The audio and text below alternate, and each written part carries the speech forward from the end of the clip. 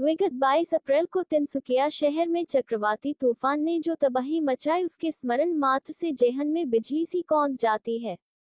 महज चंद मिनटों के चक्रवाती तूफ़ान ने कई लोगों से उनके घरों की छतें छीन ली तो कईयों के घरों को पूरी तरह से क्षतिग्रस्त कर दिया।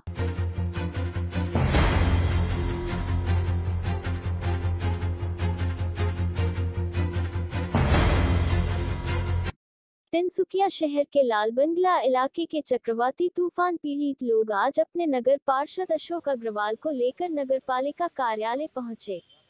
उनका कहना था, इतने दिन बीत जाने के बाद भी अभी तक ना तो गिरे हुए पेड़ को अभी तक हटाया गया है। न ही अन्य प्रकार की कोई सरकारी सहायता उन्हें मिली है। स्थानीय लोगों की समस्याओं को लेकर वार्ड नंबर 10 के नगर पार्षद अशोक अग्रवाल भी स्थानीय लोगों के साथ खड़े दिखाई दिए।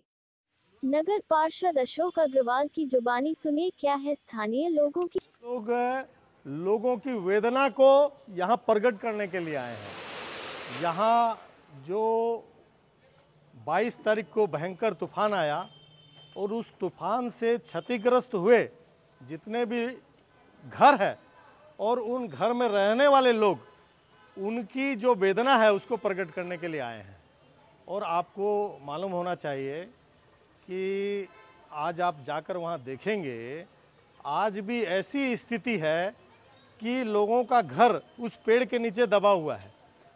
आज वो अपने घर में फिर से नहीं जा पा रहे हैं। उनके घर का जो सारा सामान है वो नीचे दबा हुआ है। बच्चों की जो किताब कॉपी है वो स्कूल नहीं जा रहे हैं क्योंकि वो नीचे दबी हुई है। खाने बनाने का सामान नीचे दबा हुआ है। माने पूर्ण रूपेण क्षतिग्रस्त उनका घर हो चुका है। और प्रशासन ने अपना काम किया दो तीन दिन, चार दिन, पाँच दिन। उनको ऐसा लगा कि सारा काम हो गया। लेकिन मैं प्रशासन से अनुरोध करता हूँ कि आपका सारा पूरा काम हुआ नहीं है। आप अभी भी जाकर देखिए, आपका काम करने के लिए बहुत काफ़ी है। लोगों को जो विस्थापित हो गए हैं घरों से, उनको फिर से स्थापित किया जाए। और उनको जो सरकार से आने वाला अनुदान है, उनको मिलना चाहिए। ताकि देखिए, सरकार चाहती है गरीबों की सेवा करे, सरकार चाहती है लोगों की क्षतिपूर्ति करे, लेकिन अभी तक प्रशासन इसमें देरी क्यों कर रहा है? अधिकारी हमारे देरी क्यों कर रहा है? उसका सवाल का जवाब हमें चाहिए। धन्यवाद।